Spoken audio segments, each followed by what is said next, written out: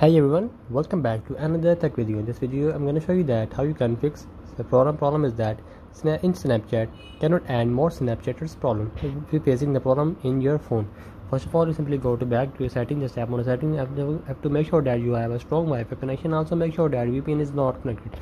After that, just simply go back to your Snapchat and just go to your settings of your Snap. Just like that, tap on a profile and just simply go scroll down. If you didn't find a setting, just settings and scroll down and just go to the storage like that. Cache. Just find a clear cache. Just tap on clear cache and continue. And you have to just clear that. Just wait for a second. Little bit wait for that. After that just, just simply go back. Go back to again to settings of your phone. Just tap on settings. And just go to search bar and display search uh, snapchat just like that.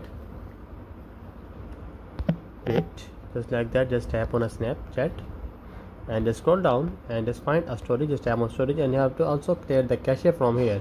Just tap on a clear cache and also make sure that you just clear that. So you have to make sure some steps to follow the steps. So after following all the steps i'm telling in the video your problem gonna fix. So that's the video. Make sure you like our video and subscribe our channel for more tech related videos